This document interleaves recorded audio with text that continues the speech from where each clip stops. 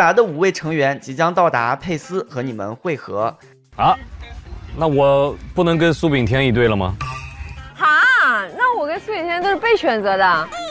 是要我们自己选吗？你们现在可以在题板上试着连线来预测一下最受期待的组合。啊，好。怎么分啊？这个。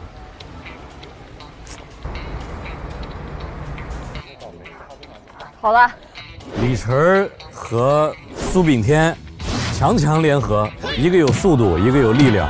范丞丞和苏炳添叫强弱组合。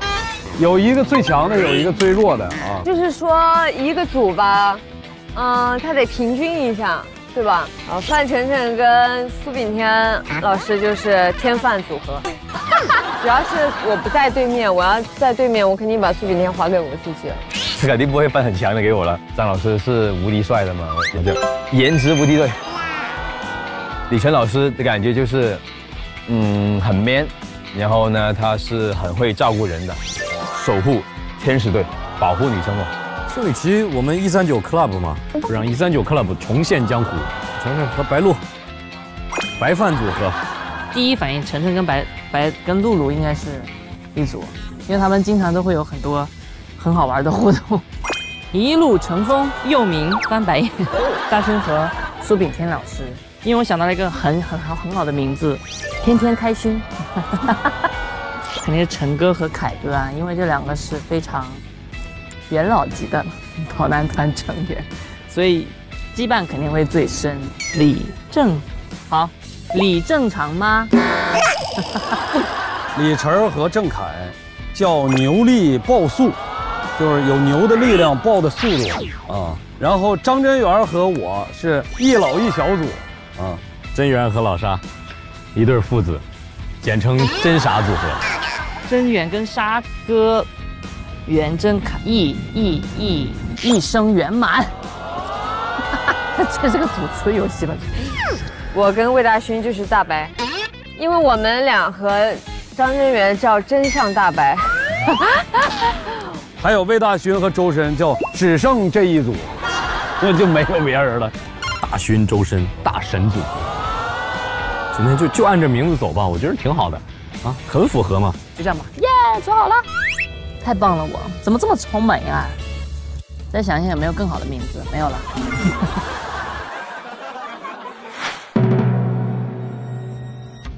本次的比赛项目是大头夹子，一张纸从高处贴墙掉落，需要在纸张落地前用头把纸夹住。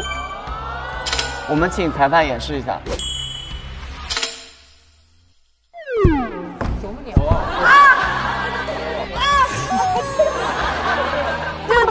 笑哎！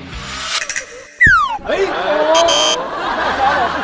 好好笑啊！这个，请大家返回备战间。来，我来，让我来。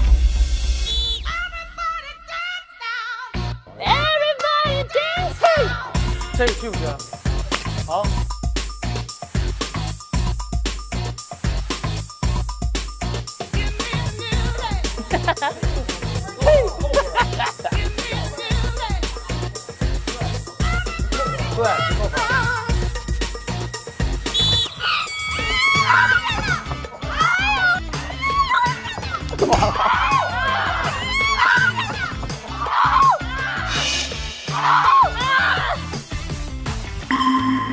雨琦先，好吓人，太可怕了，免罪记啊，里面是。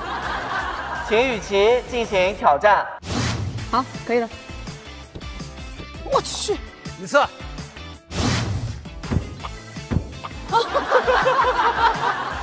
真响啊！这下，只有三次机会，早一点。哎，挑战成功。好疼。请问？在二零零八年北京奥运会中，中国队获得了多少块金牌？哇哦！你写好了，我看啊。哇哦！立马看到。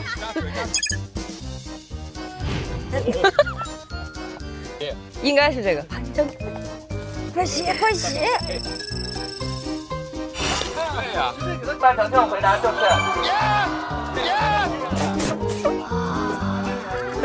好了好了好了好了，是什么？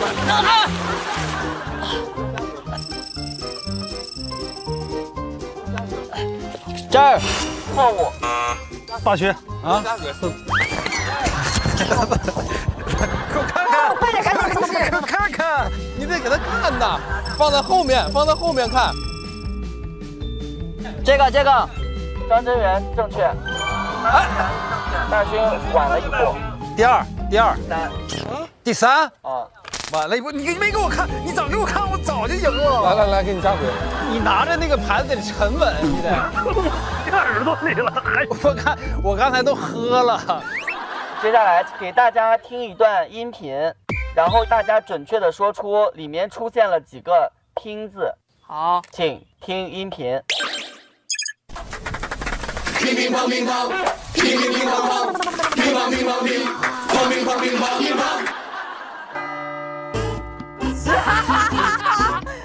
好一个好有意思的。你记住没？没有，哇，这个难啊！你的纸挡住了我的答案，范姐。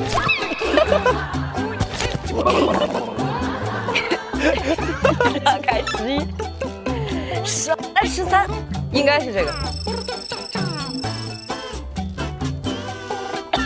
三个。范丞丞正确。这个这个这个，耶这个这个这个，张真源正确。他们怎么知道？让你有答案，哥。他很数。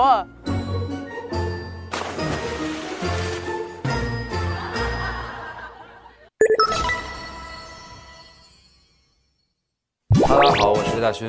Hello，大家好，我是姚一天。嗯，很荣幸邀请姚一天跟我一起做这期节目。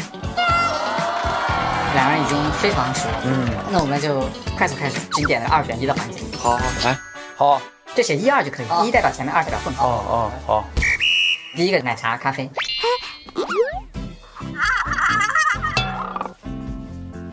看一下，啊，一答一题亮一题啊。对，咖啡黄松露，早起和晚睡，喜欢还是不喜欢啊？你更倾向于哪个？这个我肯定。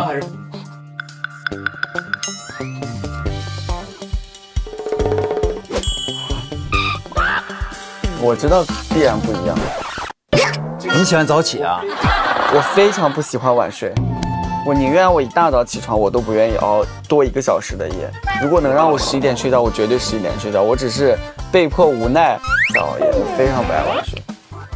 啊这个很多人跟我不一样。我其实也不喜欢熬夜，但有的时候呢，我们的工作呢，又第二天起得特别早，是然后因为前面熬夜了呢，后面早起就更难受。是的，就是这样的。所以他就要么说生活中乱，作息不规律，就是这样造成的。我以为熬夜达人呢，我以为这题我都志都势在必得了，结果这个肯定不一样，因为很少有人会选早起，嗯，尤其是年轻人，真的。尤其是我们年轻人是吧？狗和猫，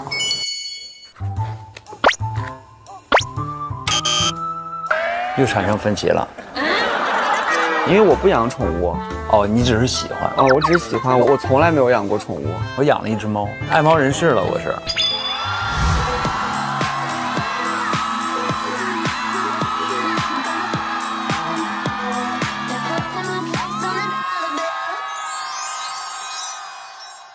然后旅游和宅家，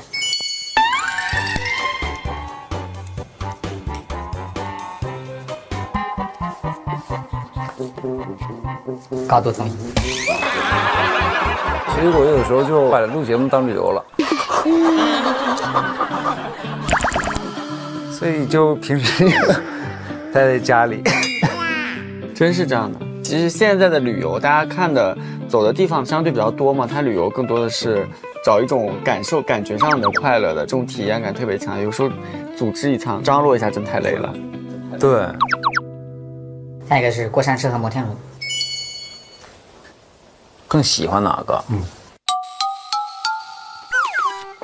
都是过山车，刺激大于浪漫。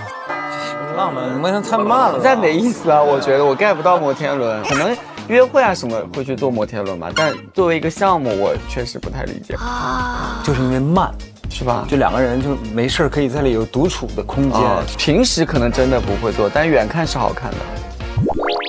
下一个是鸳鸯锅和辣锅。这应该绝对统一吧？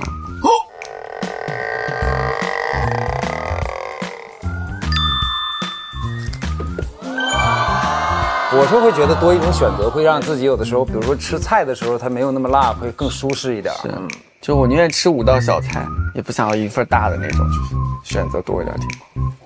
就你们的手机输入法用九键的还是用二十六键？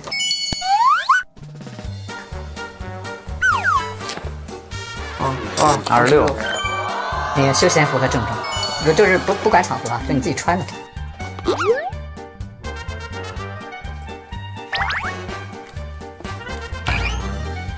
你喜欢正装，只是我现在没有办法穿。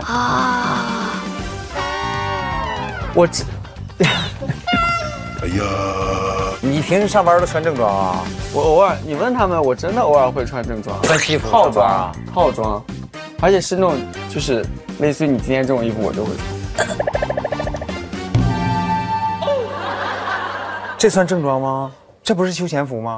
也没那么那种职场那种那种，但你也是会认为这种是完全这种这是休闲啊。刚毕业那所有人看到我觉得这人有什么大病？我跟你讲，我冬天会穿那个就像你演的角风衣色霸总那种角色，然后西装外面那个大衣，然后戴皮手，然后戴手套，然后上班去。油头，刚毕业那会儿，我现在想想自己是个鬼，我跟你说，哇太帅了，离谱大离谱。那为什么呢？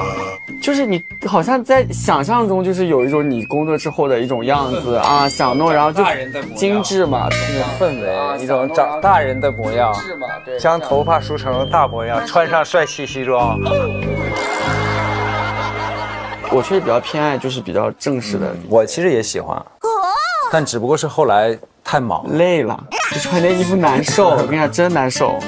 而且也没有那么多时间了，主要是。我真的我我第一套运动的纯粹的这种球鞋，什么非常运动休闲，是我就录第一季跑男的时候才买的，因为我要自行台要 follow 嘛，要跟拍，嗯，然后就跟着他们跑，然后我就买了运动的才。从那之后开始就觉得很舒服，然后慢慢改变了。为了工作，连自己的着装都妥协了，太好了，这个导演。微信更愿意发语音还是打字？你应该是一吧，我是二。我从不发语音，而且我也不爱，就是听很长很长的语音。一般有很长很长，我真的会很累，我真的不听。不是，我宁可把它转换成文字看。我也是，我也转文字，我也不听。就是看，我会很快速的捕捉一些很重要的信息。你听你就觉得很慢，嗯，就是比如说五十多秒，你觉得很慢，但你转完之后，你会觉得好像快一点，好像就会觉得快一点。我也不知道为什么。因为他有语气词，有说他要边说边想，就是很慢。有时候你急的时候，比如说在录影听到微语音，我真不会点开，然后就经常会忘回微信。我这都是不好的习惯，真的。不是因为你点开了，它就不提醒了，然后然后你可能就忘了，对，它就刷下去了嘛，对对吧？然后你过几天你再刷刷手机的时候，你说哦，原来他给我发了好多条，你没回。是的，所以你刚刚说那个已读不回的这个，我就是这样的人，经常因为真的会忘记，应该因此而得罪了不少人，我觉得。你是导演，没事。传声筒游戏规则：其中一人戴上有音乐的耳机，通过口型判断对方说的是什么。好，来吧。摇一天，披星戴月。这给我没放音，没音乐呀、摇一天，披星戴月。啊，给放他那耳机里去了。精美纪念品一份。什么？精美，精美，金边美。美。杯美。白。美丽的美，你真笨，精美。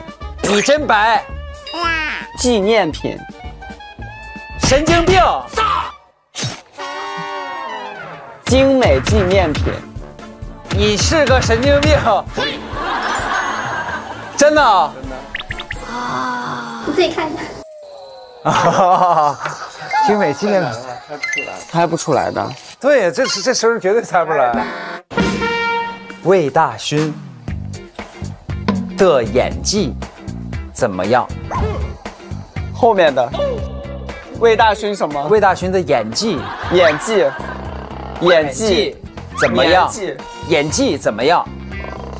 魏大勋演技怎么样？很棒。哇，演员果然他那个发口腔发音，那个嘴型好像是比我们要清楚一点哎。来，三百六十五，三百六十五，各祝福，各祝福。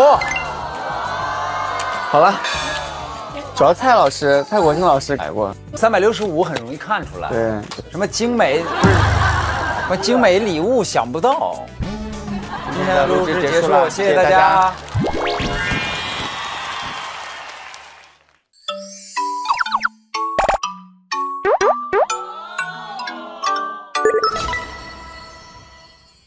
昨天去那个市场买那个辣椒酱，打算给我爸妈寄回去。对，我也买了买了那个萨拉米肉，切好的肉，对，还有一些手工手工玩具、音乐盒什么的。哎呦，嗯，我买了好多，对啊，大家都知道你排了很久的队，买了好多，现在是不是人尽皆知啊？这个事情。是，还买了一些巧克力啥的。对对对，就是会习惯性的去，就是比如一些冰箱贴啊这些东西吧，就有可以留住一些痕迹的一些小东西。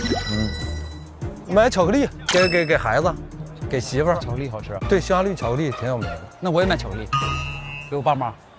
买了一些巧克力，我看它好多都很精致的那种，像手办一样的，万一在飞机上十几个小时碎了。我可能就呃比较喜欢在酒店宅着，所以就在酒店这个休息了一天，没有买什么特别。哦，买了一个冰箱贴，让工作人员给买了一个冰箱贴，还比较有意义吧？还没有，但是我了解了一下，好像是他们这里的鹅肝是比较有名的。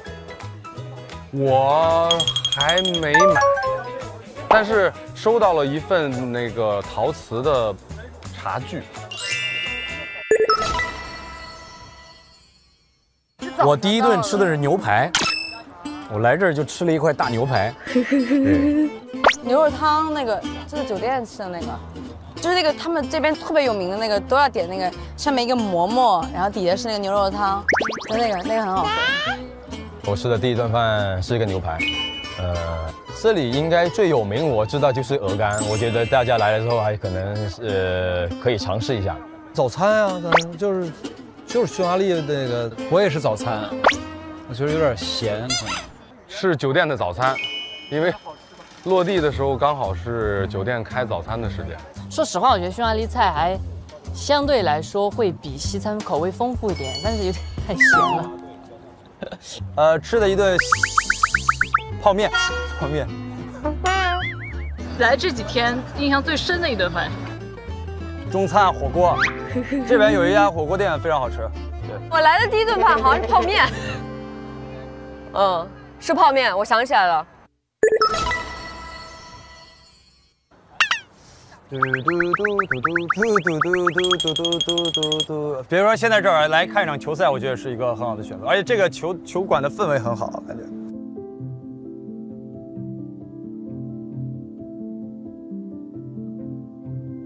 渔人堡吧，渔人堡就在咱酒店后边，天天看。渔人堡六年前就来过，今年还玩的意犹未尽。纽约咖啡馆，嗯，我去了，非常漂亮，确实非常漂亮。国会大厦，还有那个绿色的桥。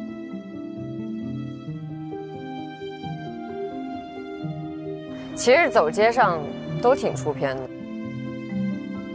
都会给你一种让你很浪漫把节奏放下来去体去感受生活的一个方法节奏，而且你会情不自禁的就跟大家一样，慢慢的去节奏放慢一些，去享受所有的东西。而且这里的艺术氛围啊，所有的氛围都很好，肯定会给大家就完全一个不一样的一个感受。是的。我还没有发挥呢，就已经结束了。我觉得很好啊，范丞丞一直在说没什么用，我觉得。我去，我错了，我错了，我错了。我去。快说。就是啊，我觉得下次咱们再有这种的话，可以训练一下咱们的雪球运动员，就是稍微蹲低一点，因为今天我们俩都是在夹缝中被撕掉的。程程他们那个确实有点鸡肋，那个对，他其实应该前面拦着，他不能把它包起来。对，没用，不是人家不好，是他没用对，我觉得是。所以我就说十八铜人没用嘛，就是这个原因嘛，你没有默契。要么是重置，要么是啦啦队，我觉得这还真挺好玩，这个还真挺好的，好用。我们当时选的时候没得选了，如果让我们第一个选的话，我们选重赛。我觉得还是咱这挺好。我觉得咱这不错，啦啦队也不错，啦啦队是一个挺厉害的，对，没想到啦啦队那么厉害。再给我弄一个？我给你们俩加油。我不是跟真的有啊，你很无聊啊。其实好像就我跟范丞丞的水平，就选什么就都差不太多吧。那我要选啦啦队，我要看别人跳啦啦 啦啦操。隐身，隐身好玩，斗转星移也好玩，就是从头再来。从头再来，啊反正累的又不是只有我们。我觉得以后能不能有一个稍微有点进攻项的这种啊，不要只是防御项的，随意跟着我们走动，这确实是没有什么太大的必要了吧？我们俩觉得用用超能力这个东西吧，就太玩赖了。就是其实我不太建议在这个撕名牌里头用超能力，所以即使我有我都没用。你呢？我不像他那么不要脸，我是没来得及用，我没来得及。弹射飞椅，嗯，永恒的经典，真的永恒的。对，喜欢在空中飞翔的感觉。我也是飞椅，因为我真的觉得飞椅大家老觉得很可怕，其实真的很好玩，上瘾。肯定是最后的撕名牌，因为，呃，对我来说，我就很很很期待，还是来到跑男，还想就想试一试名牌的。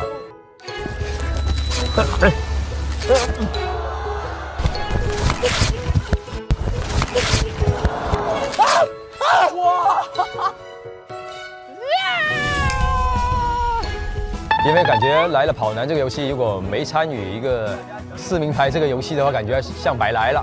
呃，就像今天我我自己的给自己定的目标就是可以成功撕一个，感受一下这个撕名牌的感觉。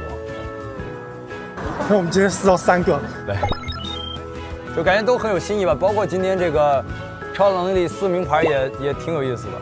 我还是觉得飞椅还是比较令人难忘吧。泥潭我也觉得喜欢啊，好像泥潭比较是我的舒适区吧。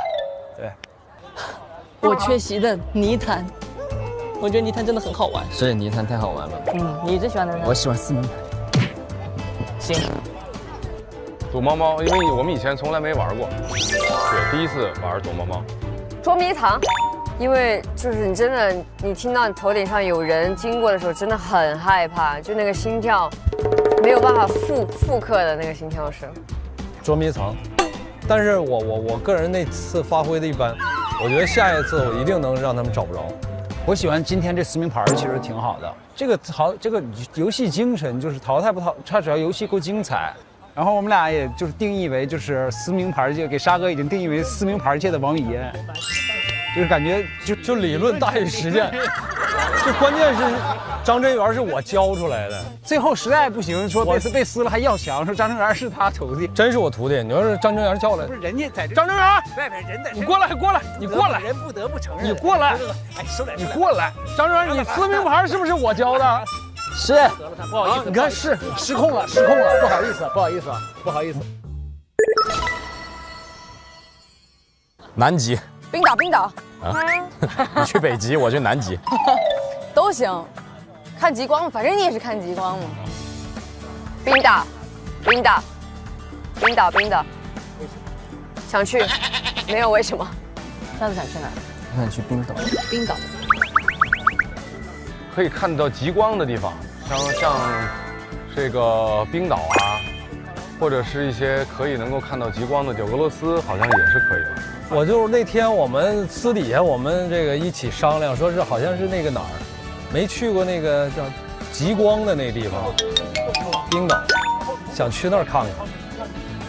想去还是尽量在亚洲吧，我觉得。呃，我觉得这个都不是很重要，最重要就是这个跑男能够一直活下去。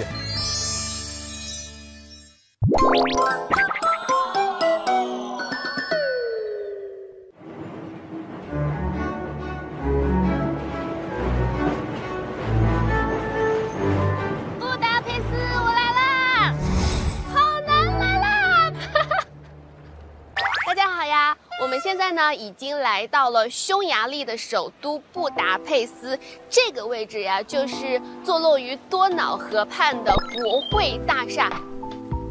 这个地方是布达佩斯非常有象征性的一个地方，它的整座就是一个新哥特式的一个建筑。据说当年它的整个工程是一直持续了十七年，所以看起来就非常的壮观。每年呢，来到这个地方打卡的游客可以用数百万计。OK OK Ready？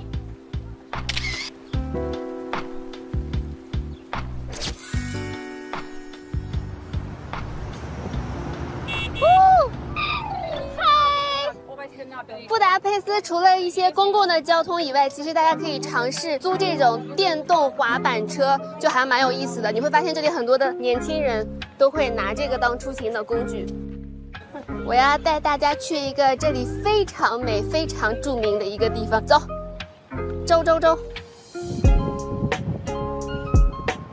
在布达佩斯，它有一个非常美丽的说法，就是说，如果你有爱的人呢，就要牵着他的手，走过多瑙河上的九座桥。看身后的那一座，就是这九座当中最著名、最美的一座桥。这个呢，就是链子桥，其实它又叫做狮子桥。这几个狮子呢，就是把布达和佩斯紧紧地牵在了一起，让两座城市是密不可分。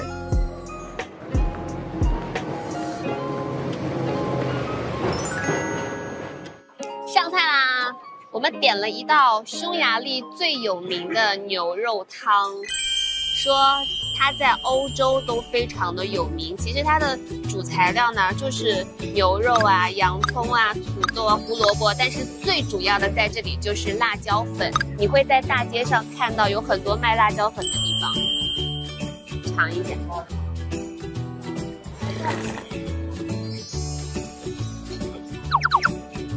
哇，其实我觉得这里的牛肉汤的味道其实有点像罗宋汤，但是它没有那么多的调味料，感觉是淡淡的有一点点辣椒粉的味道，还不错。你这个一定要尝试一下，因为每家餐厅都有做的味道都不太一样。这个三文鱼看着还是蛮不错的，外面脆脆的，里面一下子就化了的感觉。再给大家尝一下，看着很有食欲哈，哇，很有食欲。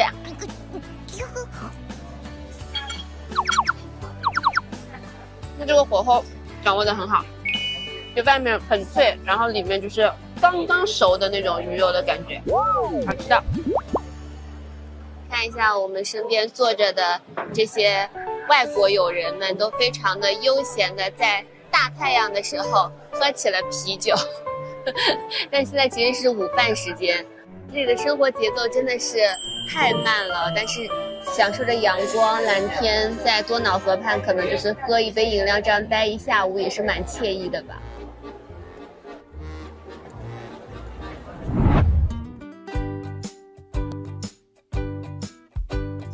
我们是特意找的这家，因为这个烟囱卷说在当地是非常有名。我们应该怎么点啊？我们多点几个味道吧，尝一下。Thank you，好香。香气四溢的烟囱卷，它除了有开心果的这些颗粒以外，它其实上面是撒了很多糖的。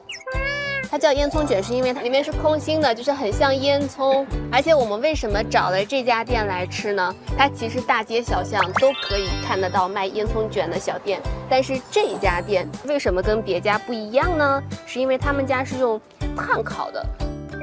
他们家的烟囱卷是有得到了国家级的奖项，就是专门评给匈牙利的一些传统食物的。这家店老板娘，因为他们家的烟囱卷已经登上了匈牙利的福布斯的杂志，听起来好厉害的样子，有没有？看这个，有一种焦糖的这个感觉，嗯，嗯，很爽，很满足。而且你们会发现，就是这里的这个传统食物的改良还蛮丰富的。我有看到的什么烟烟囱卷的蛋糕、烟囱卷的冰激凌，还有传统的烟囱卷，还有这种各式各样的上面撒各种各种花儿的这种碳水星人的快乐还是不错的。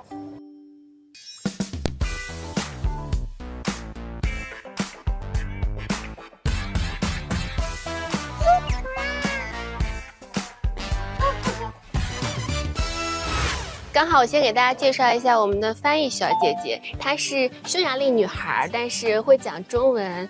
Hello，你你的匈牙利名字叫什么？Asta，Asta，Elsa。所以这个地方是叫什么小镇？上丹丹，在匈牙利叫散丹丹。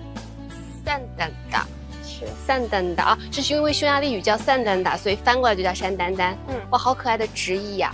那我们为什么要来这个地方呢？是因为大家知道，其实布达佩斯有很多呃明星在这里取景，像之前汤姆克鲁斯的《碟中谍四》啊，蔡依林的《马德里不思议》的 MV 啊，都是在这个地方。这里呢就有很多的色彩，感觉就很童话。脏辫人家绑的是，好摇滚 So cute。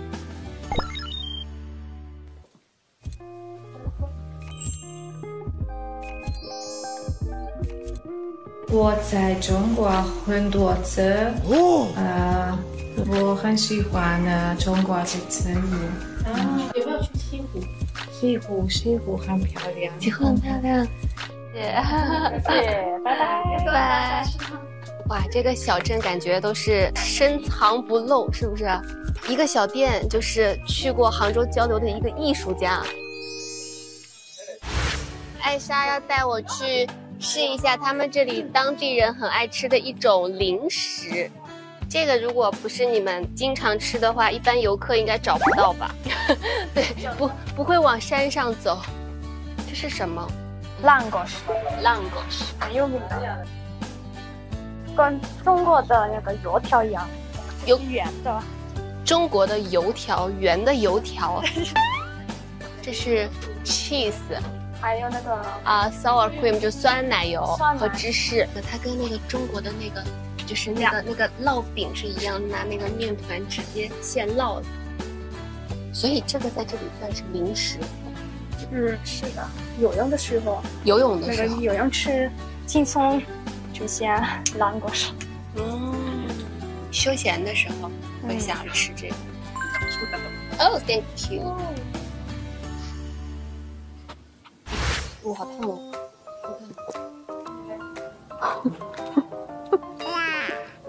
对啊，不好意思。嗯，好吃吗？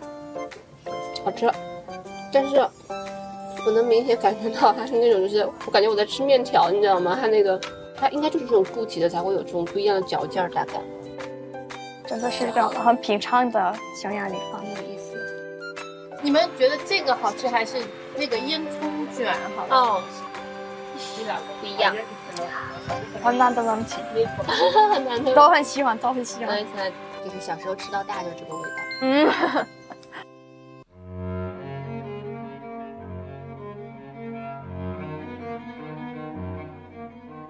老爷爷从窗户探出了脑袋，